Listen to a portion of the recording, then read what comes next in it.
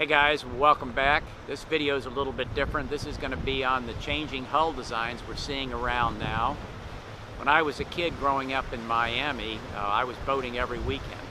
My dad was a uh, conservation patrol, which is now then became the Marine Patrol, then became the FWC, and he patrolled out in Biscayne Bay and the ocean every day then he went to work for the National Park Service in the Everglades and um, actually designed Biscayne National Park for the Park Service. So we were out boating all the time. And we used uh, our 16-foot cathedral hull manufactured by Thunderbird Boats. He named it Cloud 9. And uh, Thunderbird Boats used this cathedral hull design, which was originally made popular by Boston Whaler. A cathedral hull has a main hull in the middle and two sponsons on the side, and they don't usually reach as far up as the bow.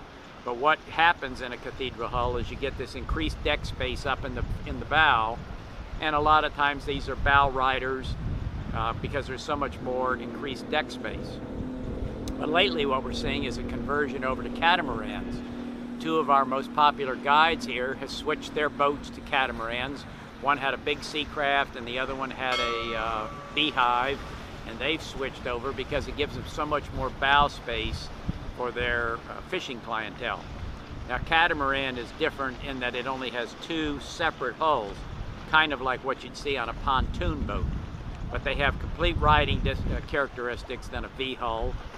And uh, there's a couple big manufacturers. We see a lot of Freeman boats around here. And I know Invincible is now making at least one, maybe two uh, catamarans. So recently in my filming of boats, I've uh, shot a lot of different uh, footage of them, and I'm just I'm put this for, together for you. It's just called Cat's Attack, and it's all the boats. This, the Freeman screaming through the inlet, and then little Twin Vees puttering around. So, and hope you enjoy this. Hope you enjoy this video, and if you do, you might consider subscribing so you don't miss other ones. And uh, if you have time to give me a thumbs up, I'd really appreciate it.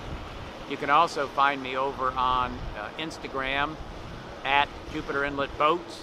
I try and post a little video on there every day of something I've shot recently, and I've been heading down to uh, Palm Beach Inlet. Uh, if you watch those videos and know anything about those boats and can identify them, leave comments down below. That'd be really great. Thanks, and here's Cat's Attack.